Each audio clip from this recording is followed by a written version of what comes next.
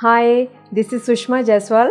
Um, I am working in the field of nutrition for last 33 years, including in WHO and UN.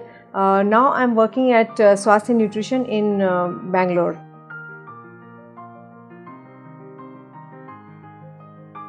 In uh, protein, in terms of increasing height in, in teens, yes, uh, protein can definitely increase the height in teens if taken as uh, supplement because nowadays uh, all the uh, food which is um, grown uh, it, it's uh, less in, in less in protein content.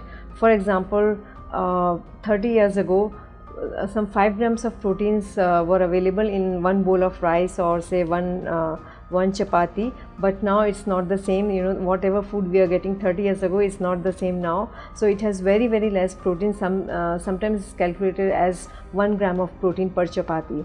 Uh, so um, uh, in india everybody uh, is lacking in protein. If uh, they they take some uh, protein supplement during the growth years it can uh, it can um, uh, increase uh, height. Yes definitely it's um, uh, and it can boost up height to some extent.